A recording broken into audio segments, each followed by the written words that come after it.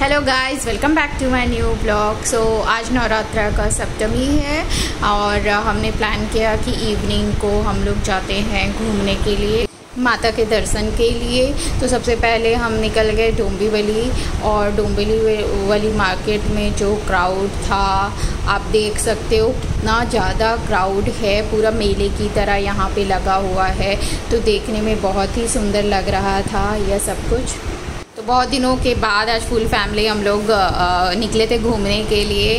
तो सोचा माता के दर्शन करते हुए हम लोग मार्केट भी हो जाते हैं, वहाँ से कुछ शॉपिंग भी कर लेंगे।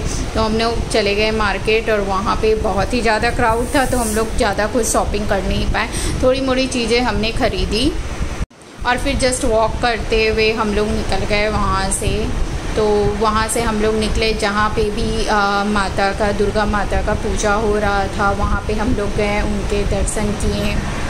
तो डोंबिवली में हम लोग जस्ट घूम ही रहे थे और वहाँ पे जहाँ पे भी पंडाल लगे हुए थे वहाँ पे हम लोग जा रहे थे और माता का दर्शन कर रहे थे। तो हमें पहला पंडाल तो यहाँ पे मिला। यहाँ पे हम लोग घूमते फिरते गए और फिर यहाँ पे माता के दर्शन किए।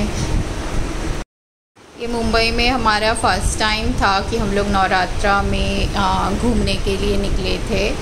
तो यहाँ पे हम लोग को छोटे छोटे पंडाल यहाँ पे बहुत सारी गली में बनाए जाते हैं। स्पेशली मार्केट्स में आपको बहुत सारे पंडाल मिल जाएँगे छोटे छोटे ये पंडाल ही मिल जाएँगे। जहाँ पे माता का पूजा किया जाता है और पूरे एरिया को बहुत ही सुंदर तरीके से सजाया जाता है।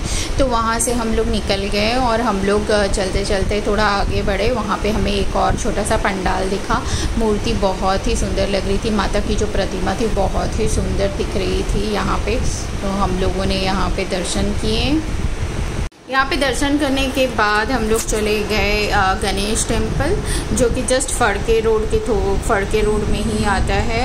और वो बहुत ही बड़ा टेंपल है। तो हम लोग वहाँ पे गए, वहाँ पे भी माता का पूजा हो रहा था। वहाँ पे भी हम लोगों ने माता का आशीर्वाद लिया और फिर निकल गए अपने घर को। तो गाइज़ आप कमेंट करके ज़रूर बताइएगा कि आपका दुर्गा पूजा कैसा बीत रहा है।